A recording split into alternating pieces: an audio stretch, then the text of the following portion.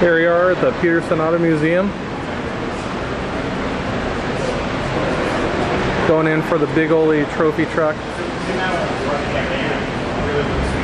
It's on display from May 2nd through September 2nd.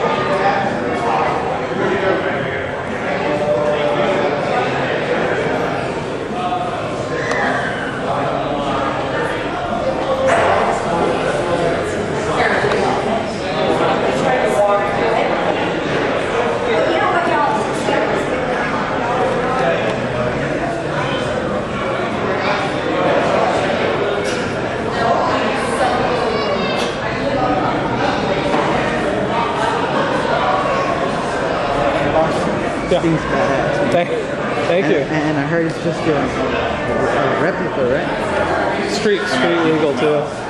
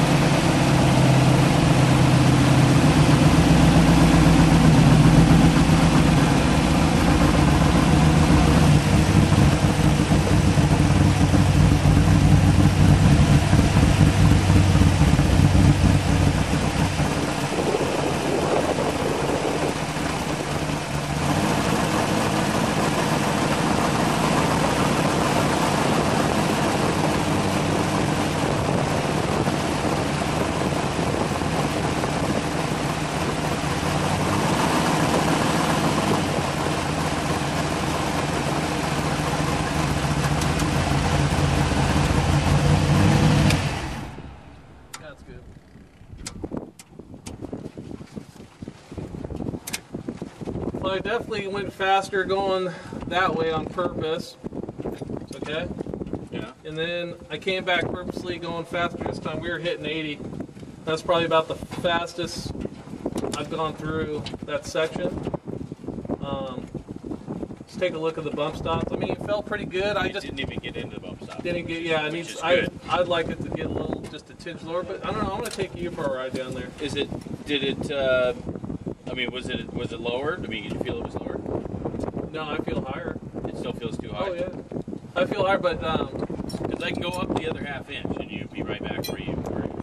Yeah, definitely uh, get this thing a little lower. I think for now. I mean, and we went. What do you think? We went through some of those whoops. I thought were like, hey, those are That's good. medium. Yeah, those medium-sized whoops. I mean, they're not huge, ginormous things. I'm sure they would come into the bump, but I wouldn't be driving that crazy But the back end, what I I think it's just me, tire spin, like and getting, it's just.